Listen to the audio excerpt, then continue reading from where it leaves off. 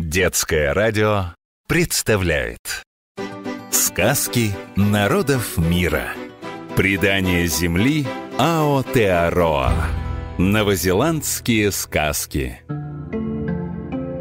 Хаэре Май. Так приветствует каждого, кто ступает на ее берега Земля Аотеароа Или Длинное белое облако так назвали ее люди, давным-давно приплывшие к ней по водам Великого океана. Многое повидала Аотеароа, о многом может рассказать. О чистой любви и вражде племен, о гигантских птицах и духах леса, о дружбе и предательстве, о говорящих камнях и могущественных колдунах. Вот одна из ее историй. Чудесная лодка Раты. В одном небольшом племени в деревне на берегу океана жил со своим отцом Вахиероа юноша по имени Рата. Как-то раз Вахиероа уплыл на своей лодке в море и не вернулся – Рата чувствовал, что отец жив, но попал в беду. Этой же ночью ему приснился сон, в котором он увидел лодку, наделенную волшебной силой. На утро Рата пошел в лес и нашел высокое прямое дерево. Дерево на языке маури – ракау. Одно из самых необычных новозеландских деревьев – это ти-коука, карделина южная или по-другому капустное дерево. Из него получаются волокна, из которых маори делают веревки. Дерево ракау. Рата достал топор и стал рубить ствол. Когда огромное дерево с грохотом упало на землю, уже стемнело, и Рата, прервав работу, вернулся в деревню. Не знал Рата, что, срубив это большое красивое дерево, он рассердил детей бога Таны, покровителя леса. Собрались дети Таны той ночью в лесу. Птицы Риро, Туи, голубь Куку, птица-колокольчик, скворец Уия и множество насекомых.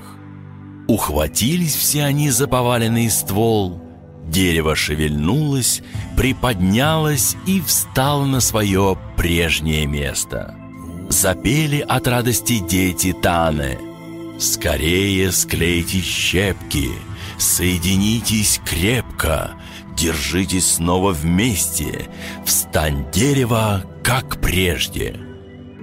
Когда утром Рата пришел в лес, чтобы вытесать из поваленного ствола лодку, он с удивлением увидел, что дерево стоит целое и невредимое – Испугался Рата и стал произносить заклинания, чтобы защитить себя от злых духов. Закончив, он взял топор и стал снова рубить ствол. Через некоторое время дерево с треском упало на землю. Отложив топор, Рата пошел было в деревню, но, сделав десятка три шагов, спрятался среди кустов – очень ему хотелось узнать, что случится с деревом на этот раз. Куст на языке маори – мауфа. Растительный мир Новой Зеландии разнообразен и уникален. Например, только там, в болотистых лесах, встречаются деркридиумы – растения, напоминающие наши можжевельники. Правда, у них красивое название. Куст мауфа. И только Рата успел спрятаться, как услышал песню – Скорее склейте щепки, соединитесь крепко, держитесь снова вместе, встань, дерево, как прежде. Загудел лес, и Рату увидел, как поднимается дерево со всех сторон, облепленное птицами и насекомыми. Тут Рата вышел из-за кустов, и, увидев его, набросились на него дети бога Таны – «Как ты смел, Рата, повалить лесного бога?» Юноше стало стыдно. «Как же мне быть?» – спросил он. «Мне нужно сделать лодку, чтобы отыскать и спасти своего отца». «Возвращайся домой», – запели птицы. «Мы сами сделаем тебе лодку». Рат ушел, а на утро на песке стояла новая лодка, названная Ривару, что означает «великая радость». Рату поднялся на борт и взялся за весла. Ривару легко заскользила по воде, и вскоре Рату увидел берег, где жили по натуре морские чудища. Когда наступила ночь и на песке зажглись костры, Рата поплыл им навстречу. Костер на языке Маори Ахимумура.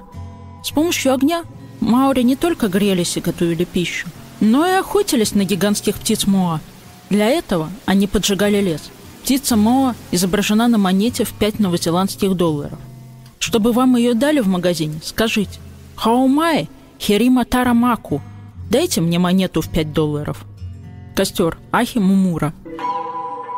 По натуре, собравшись в круг, танцевали и пели какие-то заклинания, а в центре лежал без сознания отец Раты, Вахиероа.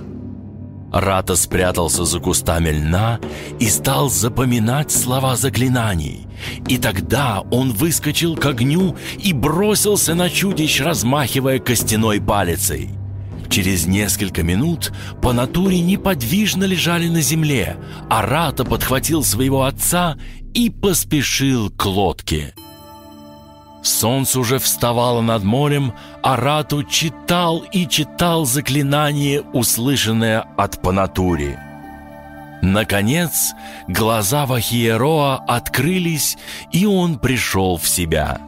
И счастливый Рата бросился к отцу – Солнце и поныне всходит над берегом моря там, где дети Таны пришли на помощь Рате. Они добры тем, кто любит и бережет сад их отца. Повторяем, запоминаем. Сегодня вы узнали три новых слова из языка маори. Дерево – ракау, куст – мауфа, костер – ахимумура. Сказки народов мира – Предание Земли Аотеароа. Новозеландские сказки.